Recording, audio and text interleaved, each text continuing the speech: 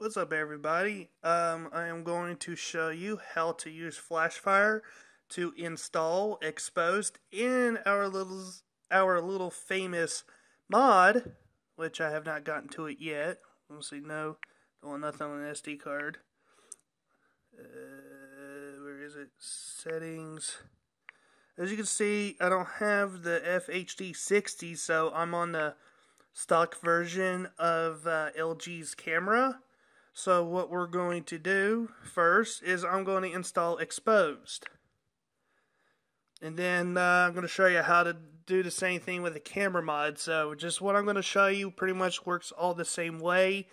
And then you'll see a video what my phone's doing, which this process does take at least 30 minutes for your phone to do something.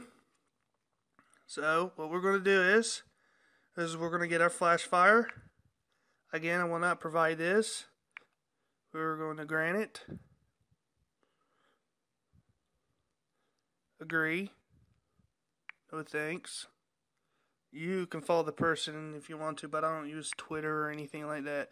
Um, I've actually had somebody ask me uh, what version I am running, and as you can see on the top, I am running version 0.224.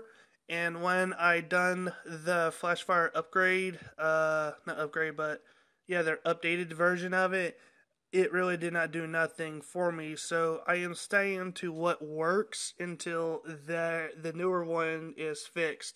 So for now, I'm staying with this. Um, what I'm about to show you will work on every way. And what we're going to do is we're going to press that button, that plus button.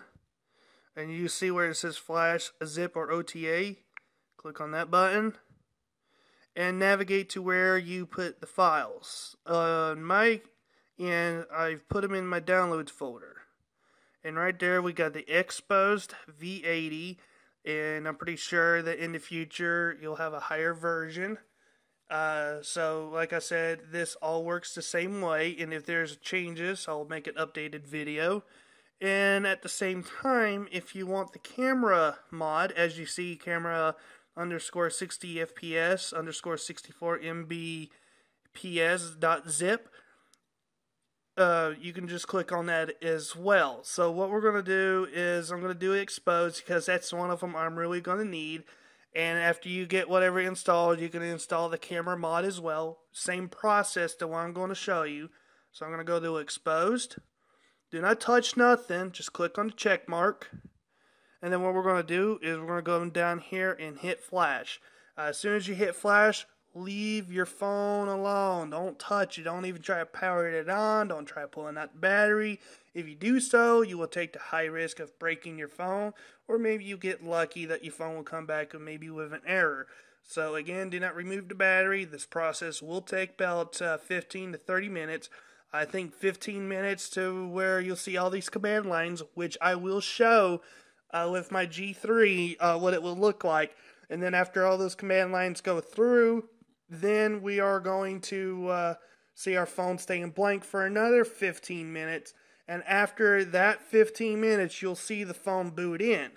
I'm not going to hit flash right now, but on your end, hit flash. And I can do it this way too, because I have done it this way. Once you get that Xposed uh, installer installed, uh, we are going to use our favorite uh, file explorer and navigate to wherever you put your Xposed installer at. We're going to click on it and we're going to click on install. If your phone comes up with a security saying that, uh, well, with Flashfire, um, I'm pretty sure it probably won't, but on my phone it did because I'm running off a backup. But if it brings up a message saying, uh, uh, allow unknown applications, just click on setting and check mark unknown sources. And once you check that, you'll be back over here to this installer page and we're going to install our Xposed installer. Now my Xposed framework is going to give me an error because I did not do it uh, for the installer package, but I'm installing this first just to show you how to install Xposed. So when you go in framework, you can just say okay, and you won't have all this red lettering or anything. Yours will have green letters on the top uh, saying what version, or I forgot what it will say. It will tell you that it's working properly, it's functioning right. So it'll be in green letters. As for mine, mine is red because I don't have that installer in here. So once I get the installer, mine will be showing uh, green. So that is all I am showing. Uh, how to do this, and uh, after I get the Xposed uh, un, uh, installer into my phone along the camera mod, I'll go ahead and I'll do another video of this to what it will look like when they are installed. So when you see your phone do this, don't touch it. It's going to do this for about a minute or two.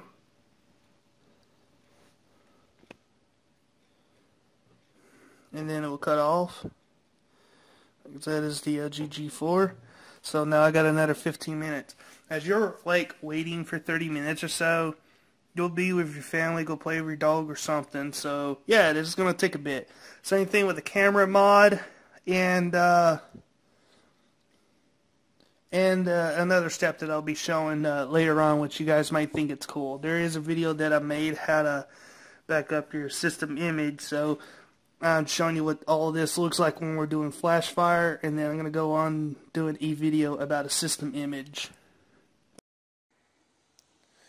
Alright, after you install Xposed and probably the camera mod, which there would be links in uh, below this video, I'm going to show you what it looks like when they're fully installed. I'm going to start with Xposed. As you saw earlier in my video, underneath Framework, I had all that red lettering because there was like an error because I don't have that installer before. And as for uh, the green letters, that's what it will look like on the top to let you know it's active. So we got that. Now, if you, like I said, the camera mod is done the same way as you're installing the Xposed framework. Uh, so once you get that done, you'll get this. I'm outside right now. I'm not going to do the 50, uh, 60 frames a second uh, through my phone because uh, you're you're not gonna see the true experience of it. I'm gonna turn off my flash so I don't have that on.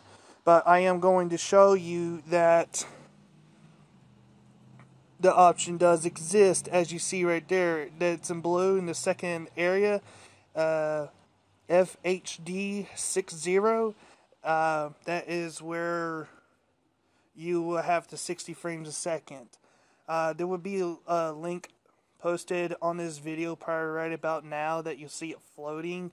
Uh, you can click on that link to see what it looks like with the 60 frames a second um, uh, when it's recording. I'm not going to have the video mixed in here or it's not going to look right. So the video is going to be separate, unlisted, but the link will be provided as you see it floating on the YouTube window.